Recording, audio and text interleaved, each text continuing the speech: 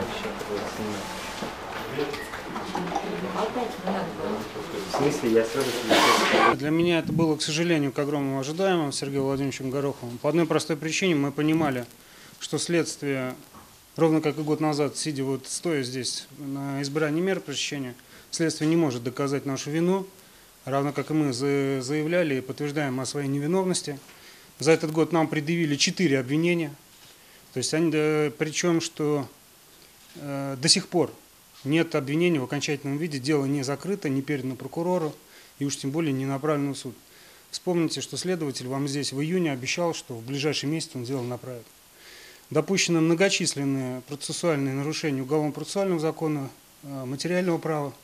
Соответственно, при реализации статьи 217 это ознакомление с делом порядка 70 томов.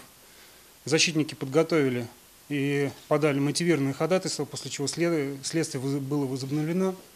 И понимая, что по статье 238 мы- предельный срок содержания под стражей один год, следствие пошло вот на такой, я бы сказал, беспрецедентный шаг, отменив действие уголовно процессуального закона на территории Тверской области.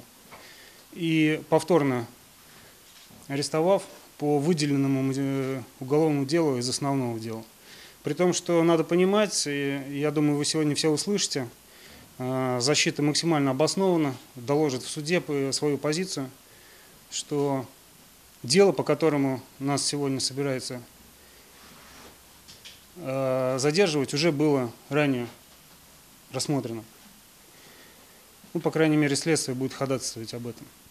Соответственно, мы понимали, что они какие-то, какой-то правовой креатив проявят, но, к сожалению, он вне правовой плоскости. Это все, что могу сказать.